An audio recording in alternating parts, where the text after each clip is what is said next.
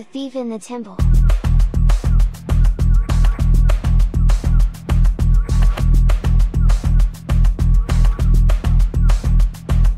Escapism in the pre-apocalyptic era.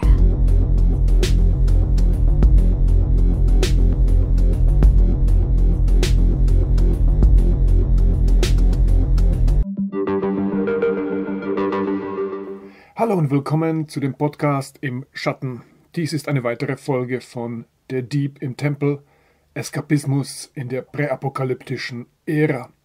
Hier erwartet dich eine weitere Dosis Weltflucht, Kunst, Misanthropie, Melancholie und Depolarisation im Zeitalter des Homo economicus cretinus. Auch heute wird es um verschiedene Beiträge gehen.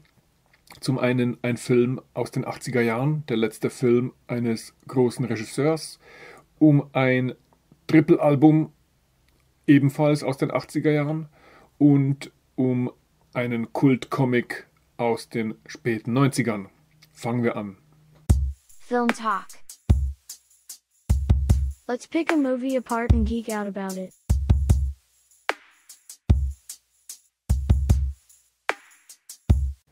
Ich habe mir vor wenigen Tagen den letzten Film von Sam Peckinpah angeschaut, den 1983 gedrehten Politthriller The Osterman Weekend, das Osterman Wochenende. Der Film basiert auf einem Roman des Thriller-Bestseller-Autors Robert Ludlum, dem wir auch andere Formate verdanken wie, wie die Matlock Papers oder Born Identity. Sam Peckinpah ist vor allem durch häufig zitierte Klassiker wie Wild Bunch berühmt, bekannt für seinen unkonventionellen Regiestil. In den 80ern war er ziemlich auf den Hund gekommen. In Deutschland wurde er damals durchaus nochmal populär durch seinen vorletzten Film Convoy mit Chris Christopherson, der in den 80ern sehr oft im deutschen Fernsehen gezeigt wurde. Er starb nur ein Jahr nach der Veröffentlichung von The Osterman Weekend. Der Film ist vollgepackt mit großartigen Darstellern jener Jahre wie Rutger Hauer, John Hurt, Helen Shaver und Dennis Hopper, Meg Foster, Craig T. Nelson, Chris Sarandon, Casey Yates und in einer Nebenrolle Burt Lancaster. Das hier ist kein perfekter Film und doch ist es durchaus eine interessante Zeitkapsel der 80er Jahre und ein Film, der seine ganz eigene Faszination mitbringt. Und es ist durchaus ein Film, dem man eine Menge Subtext nachsagen kann, den ich hier hoffentlich korrekt identifizieren werde. Doch vorweg ein gewohnter Blick auf die DVD-Box, respektive ihre textliche Rückseite, die Inhaltsangabe in Form eines Teasers. Ich lese. Actionreicher Spionagethriller vom legendären Kultregisseur Sam Peckinpah nach einer Vorlage von Bestsellerautor Robert Ludlum. Vor einem gemeinsamen Wochenende mit seinen alten Freunden, in Klammern Craig T. Nelson, Dennis Hopper und Chris Sarandon, erfährt der TV-Journalist John Tanner, gespielt von Rutger Hauer, von dem FBI-Mann Fassett, John Hurt, dass seine Freunde KGB-Agenten sind und eine Verschwörung planen. Um diese zu überführen, willigt Tanner ein, sein Haus verkabeln und überwachen zu lassen. Als seine Freunde eintreffen und schnell bemerken, dass etwas Merkwürdiges vor sich geht, eskaliert die Situation und das Wochenende wird für alle Beteiligten zu einem tödlichen Albtraum.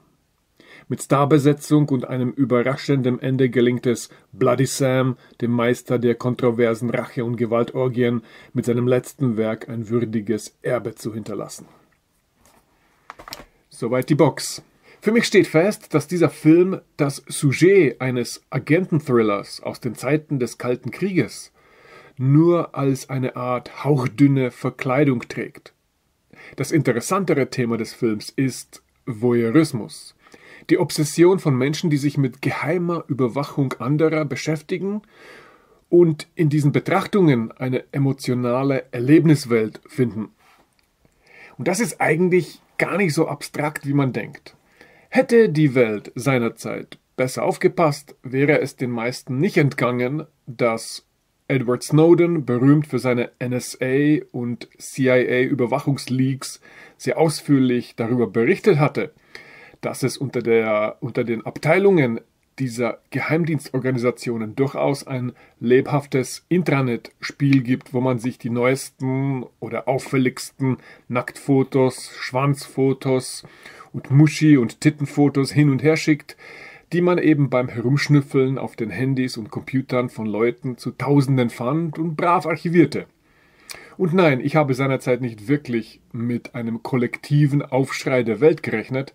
Ich bin ja ein kulturpessimistischer Misanthrop. Schon vergessen? Natürlich lassen die Leute das mit sich machen. Der NSA hat seinerzeit das Handy der Kanzlerin abgehört und es auch noch zugegeben. Gab es da eine Empörung?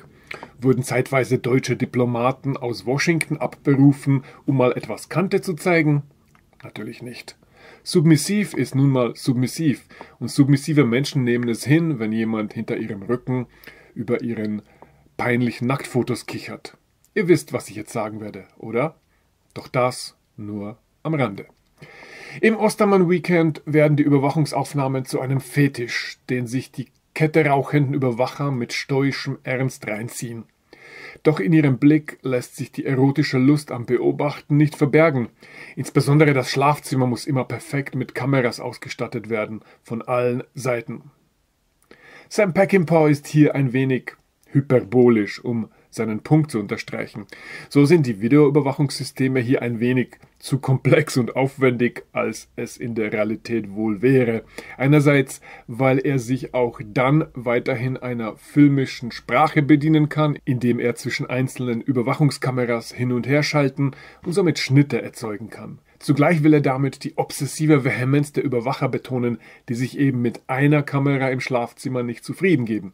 Es müssen mindestens drei sein, so dass der Akt von allen Seiten und Richtungen abgefilmt werden kann.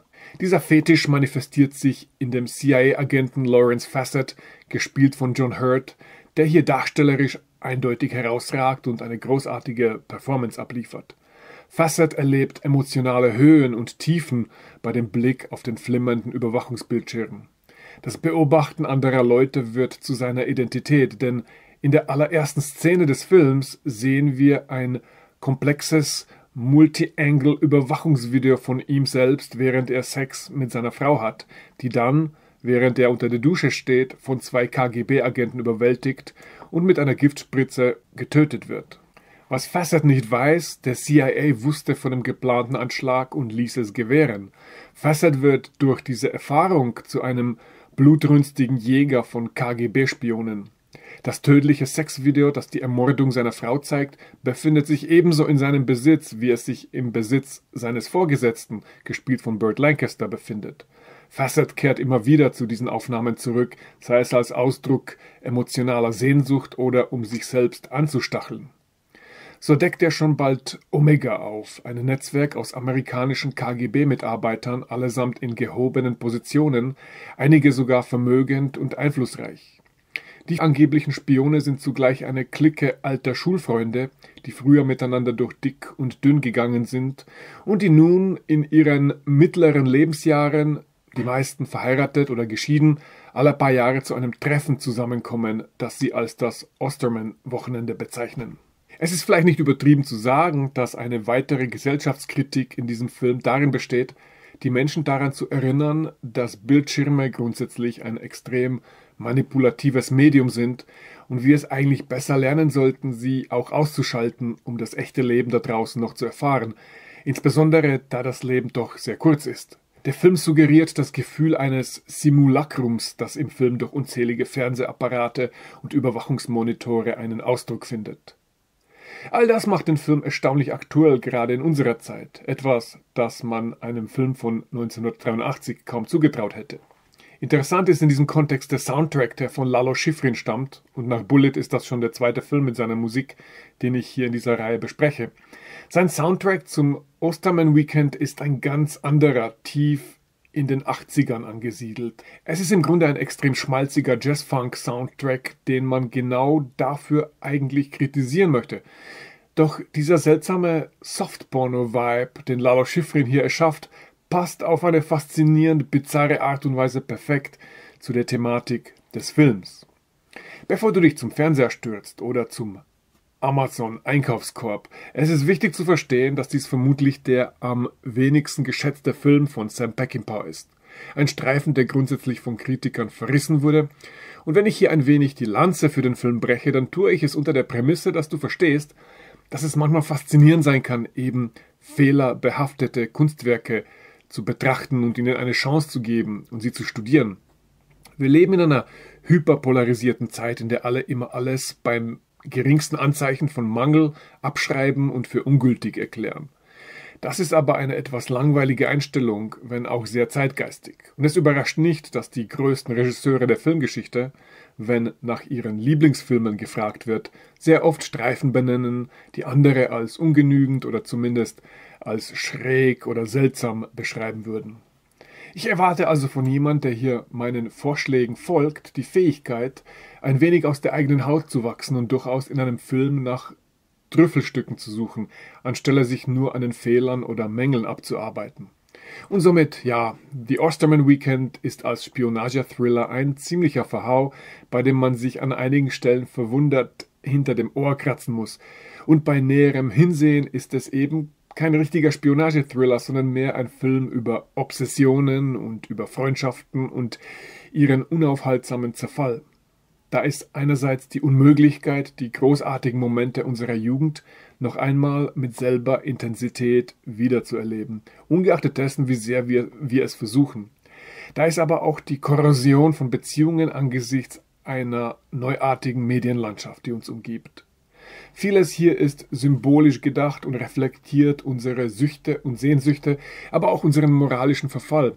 Und die gelegentlichen Plotholes, und die sind in der Tat vorhanden, tragen immerhin zu einem angemessenen Gefühl von Paranoia, äh, das eindeutig zu diesem Film dazugehört.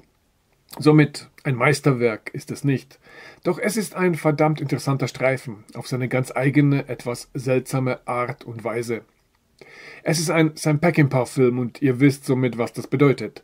Lange Zeitlupeneinstellungen bei Schießereien, langsam fallende Menschen, das gehört zu Sam Peckinpahs Handschrift. Übrigens stelle ich fest, dass das Booklet zur DVD einen kurzen Essay über den Film und über Sam Peckinpah besitzt, der gar nicht so schlecht geschrieben ist. Also warum nicht mal kurz vorlesen, bevor ich zum nächsten Thema übergehe. Der Aufsatz stammt von Mike Siegel, dem Autor von Passion and Poetry, einem biografischen Buch über Sam Peckinpah. Ich lese also mal. Für 30 Jahre von 1954 bis 1984 war die Filmindustrie Sam Peckinpahs berufliches Zuhause. Doch beinahe ein Viertel dieser Zeit konnte er seine Profession als Filmemacher nicht ausüben. In jenen langen Jahren wollte niemand dem Troublemaker Peckinpah ein Filmprojekt anvertrauen. So findet man in Peckinpahs Filmografie nur 14 Spielfilme. Regisseure mit ähnlich langen Karrieren haben nicht selten doppelt so viele oder gar mehr Filme in ihrem Övre vorzuweisen. Doch kennt und versteht man Sam Peckinpahs Wesen, so betrachtet man diese Dinge anders. Es ist eher ein kleines Wunder, dass der Regierebell so viele Filme im Hollywood-System realisieren und, noch wichtiger, entscheidend prägen konnte. In der heutigen Ja-Sager-Hierarchie der Hollywood-Studios würden Peckinpahs arbeitslose Phasen wohl den Großteil seiner Karriere ausmachen. Kinofilme und ihre Vermarktung werden heutzutage auf die Wochenendstimmung von Teenagern zugeschnitten. Dramaturgische Qualität ist weniger gefragt denn je und als langen Arm der Produzenten würde man wohl zu allerletzt an David Samuel Peckinpah denken. Sam Peckinpah wurde am 21. Februar 1925 in Fresno, Kalifornien geboren. Seine Familie väterlicherseits betrieb eine Sägemühle in den Wäldern von Sierra Nevada. Ein kleiner Berg namens Peckinpah Mountain ist bis heute stiller Zeuge dieser Zeit.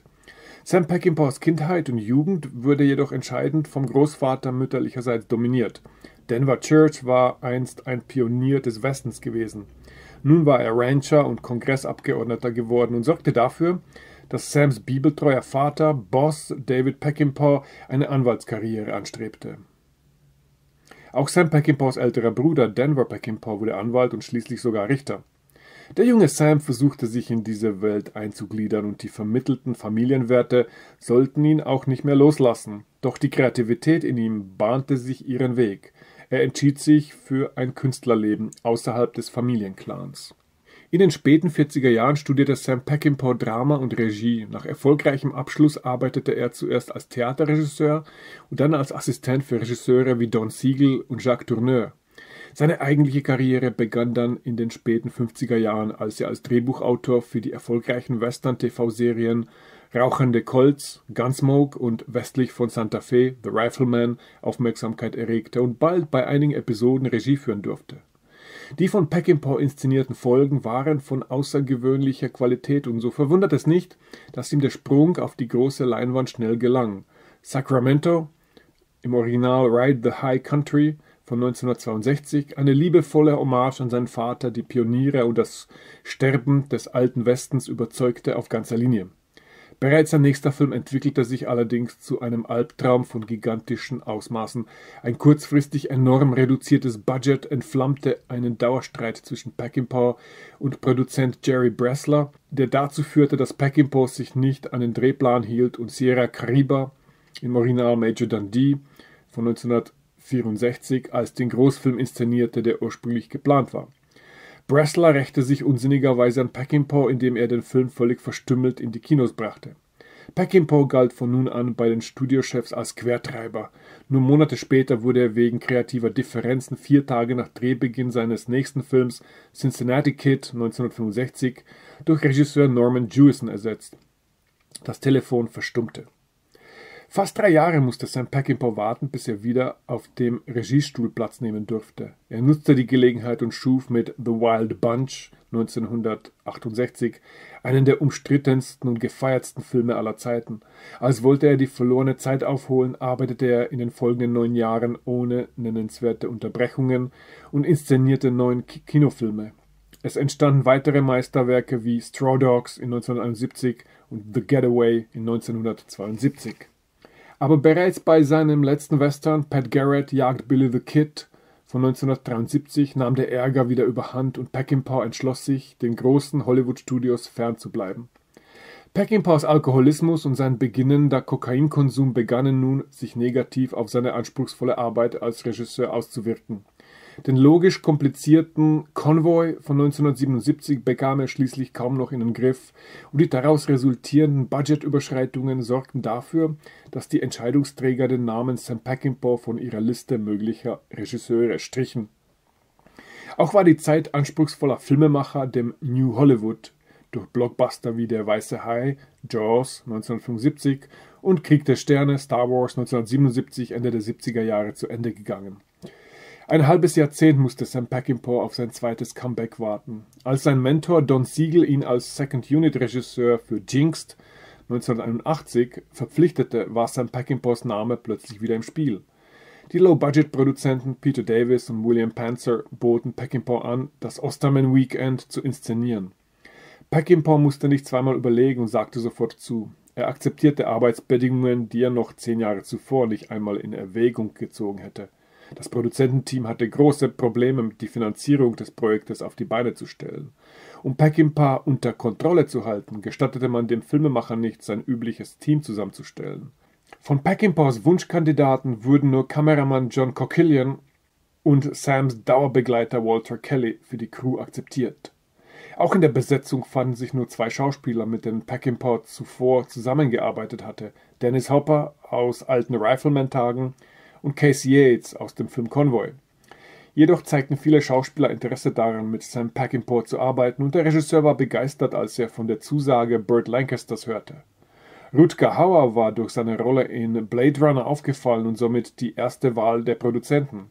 Craig T. Nelson hatte zum damaligen Zeitpunkt die Schauspielerei an den Nagel gehängt und im Dokumentarfilmbereich hinter der Kameraarbeit gefunden. Als Sam Peckinpah im selben Gebäude sein Produktionsbüro bezog, bemühte sich der Peckinpah-Fan Nelson um ein Casting. Er bekam die Rolle. Die Vorproduktion wollte Peckinpah wie üblich dazu nutzen, das Drehbuch nach seinen Qualitätskriterien umzuschreiben. Doch Panzer und Davis ließen ihn schnell wissen, dass sie beabsichtigten, die etwas konfuse und blutleere Geschichte unverändert auf die Leinwand zu bringen. Was bei früheren Produktionen in Kämpfen geendet hätte, blieb diesmal aus. Peckinpah legte sich nicht mit den Produzenten an. Er musste seinen Ruf so weit wiederherstellen, um weitere, nach Möglichkeit bessere Angebote zu bekommen. Die Dreharbeiten begannen Mitte Oktober 1982 in Los Angeles. Es war das erste Mal seit seinen frühen Arbeiten fürs Fernsehen, dass der Regisseur Peckinpah in der Hauptstadt des Films drehte. Er hatte es stets mit John Ford gehalten und Drehorte weit entfernt von Hollywood und damit dem Einflussbereich der Studiochefs vorgezogen. In den Hügeln von Malibu hatte die Produktion einen weiteren Hauptdarsteller des Filmes gefunden, John Tanners Haus. Das ehemalige Anwesen des Schauspielers Robert Taylor wurde für einige Wochen zum Schauplatz des Geschehens. Die Besitzer untersagten der Produktion jedoch, das Haus oder den Swimmingpool in irgendeiner Weise zu beschädigen. Sie schienen das Drehbuch nie zu Gesicht bekommen zu haben. Die Renovierungen zogen sich später dann über Wochen hinweg. Die langen Drehtage und besonders die anstrengenden Nachtdrehs bei eisiger Novemberkälte konnte Peckinpah nicht mehr ohne eine Vielzahl an Medikamenten überstehen. Inzwischen trug er auch einen Herzschrittmacher und so musste er seinem Körper immer wieder kleine Erholungspausen und Ruhephasen gönnen. Doch es blieb ihm genug Kraft, um sich kontinuierlich über die Produktion und die Produzenten zu beklagen. Das nicht gerade komfortable Budget von weniger als sieben Millionen Dollar erlaubte dem Regisseur wenig Spielraum. Aber Sam Peckinpah vermied den Fehler früherer Tage und beendete die Dreharbeiten Ende 1982 ohne Drehzeit und Budgetüberziehungen. Als die Nachproduktion begann, versuchte Peckinpah, der befürchtete, dass der Film die Zuschauer verwirren und nicht sonderlich interessieren würde, einige satirische Aspekte einzuarbeiten. Doch seine im Mai 1983 vorgestellte Schnittfassung wurde von den Produzenten verworfen und man untersagte Sam Peckinpah weiterhin am Schnitt zu arbeiten. Die innere Logik der Geschichte war nur schwer nachzuvollziehen und konnte auch vom nachfolgenden Cutter nicht entwirrt werden. Langsam zeigte sich, dass Peckinpahs Wunsch, am Drehbuch zu arbeiten, nicht grundlos gewesen war. Den Abend der Uraufführung verbrachte Sam Peckinpah in seinem Mobile Home im Trailerpark von Paradise Cove an der Küste Malibus. Die Schauspielerin Isela Vega besuchte ihn an jenem Abend. Ich kochte für ihn und wir tranken ein paar Gläser. Er fühlte sich wohl und hatte keine Lust, zur Premiere zu gehen. Als der Film in den USA am 14. Oktober 1983 in die Kinos kam, befand sich Sam Peckinpah bereits auf seiner Reise nach Deutschland. Er zog es vor, in Old Europe die Werbetrommel zu rühren. Gut gelaunt präsentierte er sich der deutschen Presse und erzählte von seinem Wunsch, einen Western mit deutschen Pfadfinderinnen zu drehen. Für seine Lieblingsfilme hielt er vom Winde verweht und den Porno Deep Throat. Mit seinem neuesten Film sei er zufrieden, auch wenn es kein Sam Peckinpah-Film sei. Über seine Entscheidung, Robert Ludlums Buch The Osterman Weekend zu verfilmen, sagte Peckinpah, es liegt ganz auf meiner Linie. Eine Idylle ist Ausgangsposition für Horror. Ich bin der Meinung, dass ich keine brutalen Filme mache. Zu Brutalität gehören Dummheit und Primitivität. Meine Helden, auch die im jetzigen Film, sind clevere, oft gebildete Leute. Ich hoffe, man würde bei diesem Film spüren, dass ich Killen, und auch Ficken als Satire meine. Wenn es nach mir gegangen wäre, hätten die Wochenendgäste überlebt. Sie wären in die Schweiz entkommen und hätten eine Ansichtskarte geschickt. Aber meine Produzenten bestanden darauf, dass der Bus mit ihnen in die Luft fliegt. Das Osterman Weekend wurde ein solider, wenn auch kein großer Erfolg. Die erhofften Regieangebote blieben jedoch zunächst aus. Zwölf Monate nach der Premiere von The Osterman Weekend drehte Sam Peckinpah in New York zwei Videoclips für den Newcomer Julian Lennon. Zwei Monate danach, am 28. Dezember 1984, starb er in Los Angeles. Er war 59 Jahre alt. Sein Körper war der eines 80-Jährigen. Album Review There is music in the air. Reden wir mal wieder über ein Album. Ähm, diesmal habe ich hier keine Vinylplatte von mir, sondern ausnahmsweise mal eine CD. Allerdings erschien das Original dieser Doppel-CD, die ich hier habe, früher als drei einzelne Alben, die aber eine Art Reihe bilden. Ich rede von Frank Zappa und seinem Konvolut Shut Up and Play Your Guitar. Ähm, das Erscheinungsdatum dieser Arbeit ist 1981 und diese drei Alben decken die Frank Zappa Werknummern 31, 32 und 33. Und ja, Zappa ist vielleicht der einzige Rockmusiker, der eine solche Werknummerierung hat. Ähm, Shut Up and Play Your Guitar waren, wie gesagt, drei äh, zusammenhängende Platten oder Alben, die auch später in einer Vinylbox erschienen, aber die ich mir seinerzeit hier auf CD kaufte, äh, wo sie aufgeteilt auf zwei CD-Discs sind. Und äh, ich empfand eben, dass diese Art von Musik äh, sich viel besser auf einer CD machte, ausnahmsweise. Alle meine anderen Zappa-Alben sind auf Vinyl, aber ähm, Shut Up and Play Your Guitar hat so etwas äh, eindeutig äh, CD-artiges für mich in der Art, wie die Musik so vor sich hinfließt. Ähm, das hier ist eine sehr thematische Platte. Und zwar, es sind im Grunde zwei Stunden lang nur Gitarrensolos. Zappas Musik deckt ja viele Stile ab und häufig sind diese Stile kompartmentalisiert oder quasi diskret zu nennen. Äh, das sind dann sehr thematische Alben, aber oft überlappen sich zwei oder drei Stile innerhalb eines Tracks oder Songs und nicht jeder ist ein hartgesottener Fan des Zappa-typischen Comedy Rocks Somit für jene, die Zappa insbesondere wegen den Gitarrensolos hören oder wegen seinen Jazzrock-Instrumentals, die kommen hier deutlich auf ihre Kosten. Das ist sozusagen das Konzept des Albums. Nun weiß ich ja, dass kritische Stimmen ähm, gerne sagen, dass Frank Zappa als Gitarrist beim Weiten nicht so gut ist, wie immer getan wird und wie er selbst immer so getan hat. Doch äh, wenn man sich dieses Album hier anhört, merkt man doch sehr schnell, dass das Musik ist, die weit hinausgeht über irgendein pentatonisches Genudel. Und ich liebe den Sound. Das Ganze ist ästhetisch sehr ansprechend. Wie ein Penis. Aber das ist der Punkt. Das Album ist Porno zu Zappas Gitarrenfetisch. Auf den meisten Alben, die nach 1972 rauskamen, beschäftigte Zappa zumeist einen zweiten Gitarristen und dies waren stets Top-Leute, mit extremen Renommee. Und Gitarrensolos würden da mehr als gerecht geteilt. Oft schien es, als ob Zappa sich selbst herausfordert und Gitarrenduelle mit Leuten wie Steve Vai, Warren Cucurulo, Tony Duran oder Adrian Belew ausfechten wollte.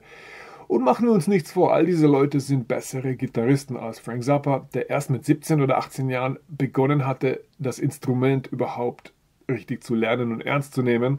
Aber man muss die, auch die Chutzpe respektieren, äh, sich dann derartig in den Vordergrund zu stellen. Aber für all die Kritiker und Miesmacher, all das kann nicht daran rütteln, dass Zappa ein wunderbarer Gitarrist war, innovativ, humorvoll und sichtlich abgehoben. Doch in einer Art und Weise, die stets auch den Gedanken zulässt, dass er sich selbst als Gitarrist immer ein wenig satirisch sah, was man gerade bei seinen Live-Auftritten auch mal beobachten konnte. Aber sein Sound war wirklich wundervoll. Und somit dieses Triple-Album ist eben etwas für all jene, die nonstop nur Zappa hören wollen. Alle Solos hier sind reine Zappa-Solos, all die anderen Gitarristen, die sich hier die Türklinke geben, spielen Rhythmusgitarre, Zappa spielt den Lead. Diese drei Alben, die hier eben in einer Doppel-CD zusammengefasst sind, sind ein typisches Zappa-Gulasch. Sie beinhalten Aufnahmen aus mindestens fünf Jahren unterschiedlicher Quellen, Konzerte, Studio-Sessions, Jams. Bei Zappa vermischt sich dies zu einer Zappa-Zone, in der die Unterschiede zwischen Live und Studio stets verschwimmen. Ähm, da ist auch das Stichwort Xenochrony sein Verfahren, Aufnahmen zu manipulieren, Solos aus einem Mix zu entfernen und sie einem ganz anderen Mix hinzuzufügen. Das war damals geradezu revolutionär. In gewisser Weise ist Frank Zappa der Erfinder des Mashup-Songs oder des Bastard-Pops. Es gibt in den Aufnahmen auch Momente, die ein bisschen Müll sind und nicht gerade äh, großartig klingen. Ähm, aber äh, das hat was, was, damit zu tun, dass weite Teile äh, dieses Albums letztendlich improvisierte Jams sind. Und das bedeutet, man muss Dinge probieren, man muss mal in eine Richtung gehen und äh, etwas thematisch anschneiden. Und manchmal klappt es und manchmal klappt es eben nicht. Aber Zappa behandelt das mit einem gewissen Grad an Self-Awareness, an, an klarer Selbstwahrnehmung. Gerade an einer Stelle, wo ich finde, dass das Gitarrensolo ziemlich gescheitert klingt, hat er dann ein Sample reingemischt, wo irgendwer hinter den Tonreglern äh, plötzlich sagt, das ist ja unglaublich genial. Was eindeutig ähm, eine Art von gegen einen selbst gewandte Ironie ist.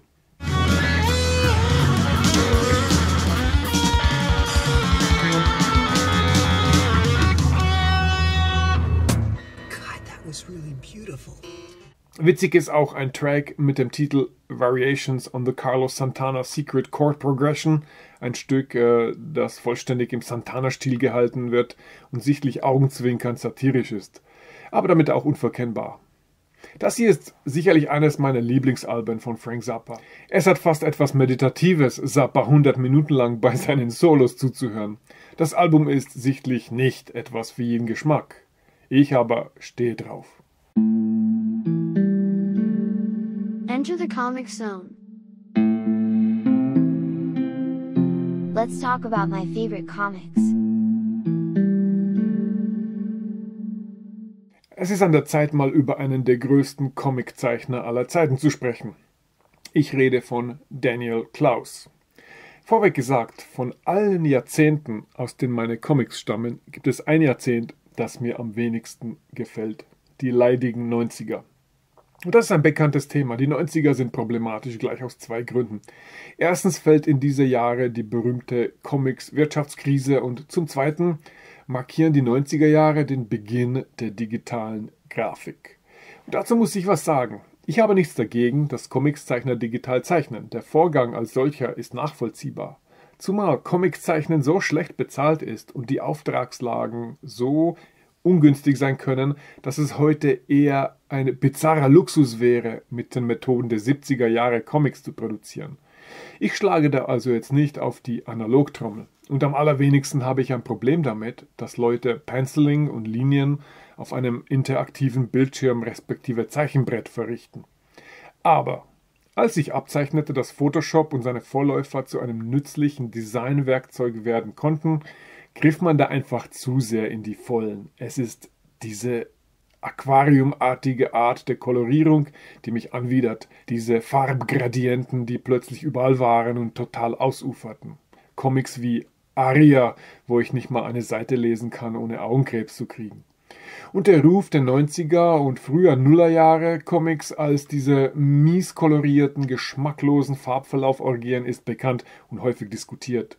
Nicht alle zogen zum Glück mit, aber eindeutig waren DC, Marvel und Image am meisten von diesem Stil verpestet.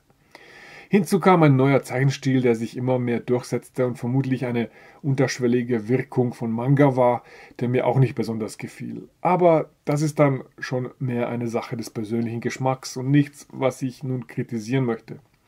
Die Linie muss sich immer weiterentwickeln und ich muss das akzeptieren. Ohnehin erleben wir heute wieder zunehmend die Rückkehr des Cartoon-Stils, häufig weniger realistisch, aber das stimmt auch nur zum Teil. Wie auch immer. Nicht alle setzten damals auf eklig ölige Kolorierung. Ich mag die 90er mit extremer Skepsis betrachten, wenn es um Comics geht, doch das ändert nichts daran, dass in den 90ern einige richtige Titanen hervorgegangen sind. Einer davon ist Daniel Klaus. Klaus ist nicht nur ein wunderbarer, ausdrucksvoller Comicszeichner, sondern ein waschechter Pionier des Indie-Comics. Klaus Stil ist eigentlich recht minimalistisch und sichtlich dem Cartoon geschuldet, doch seine Linie ist extrem präzise und nicht verhandelbar. Das erlaubt ihm mit sehr klaren, extrem aufgeräumten Zeichnungen einen hohen Grad an Emotionalität zu transformieren.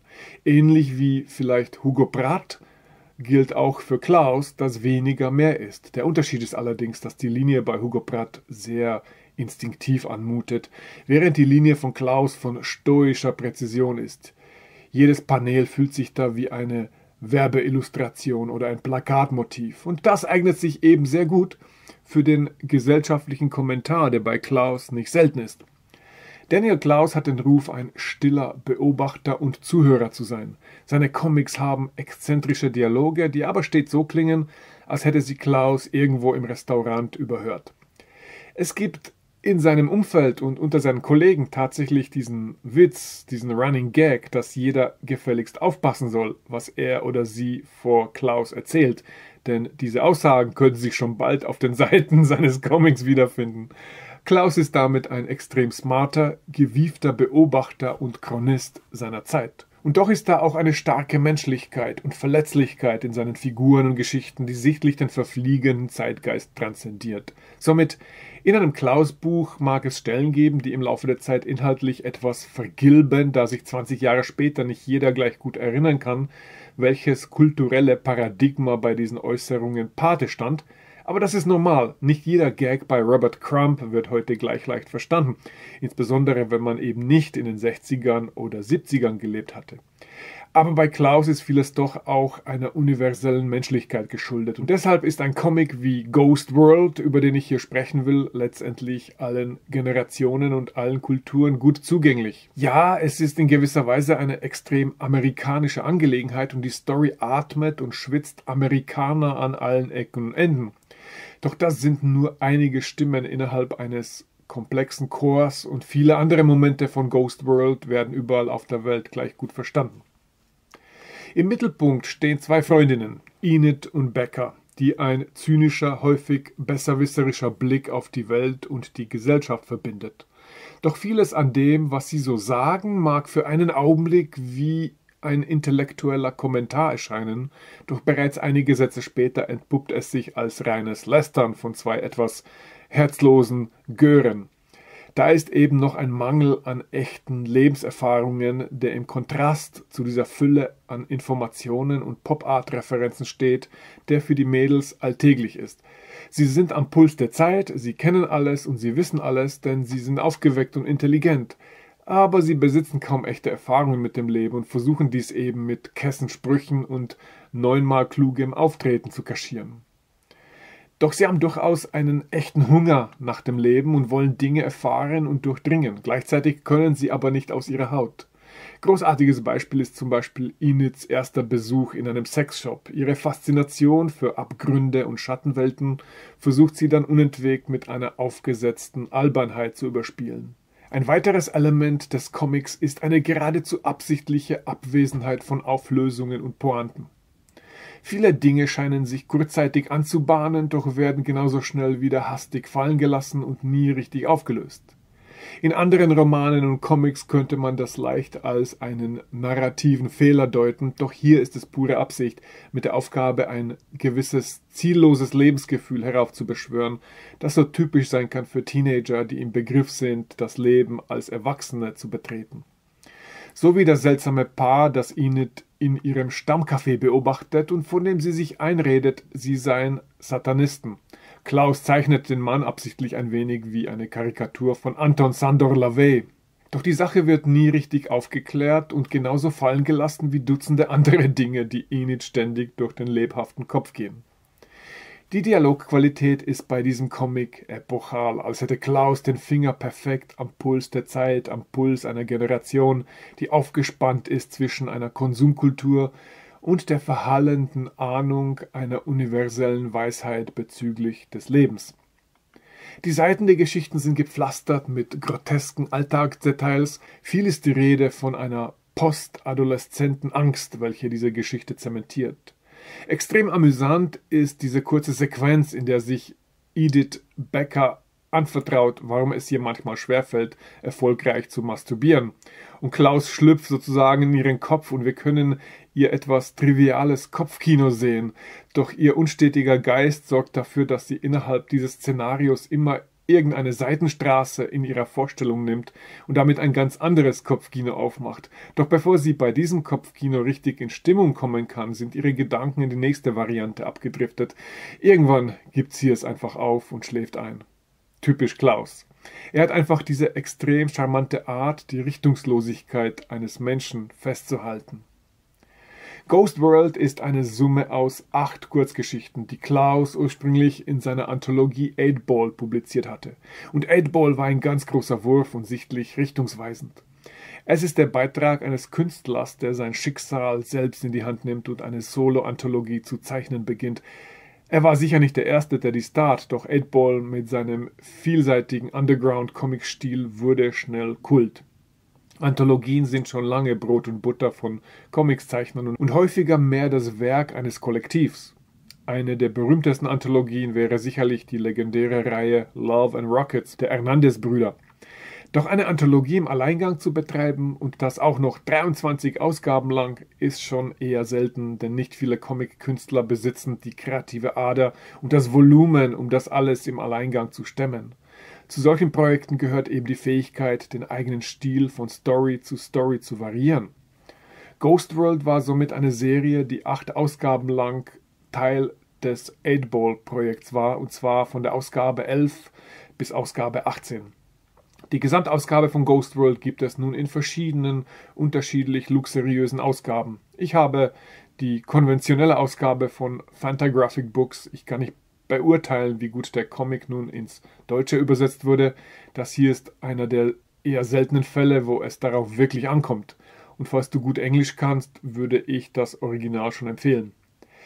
Es ist amüsant, sich das Impressum anzusehen und festzustellen, dass meine Ausgabe die 21. Auflage ist. Das hier ist also ein extrem erfolgreicher Comic.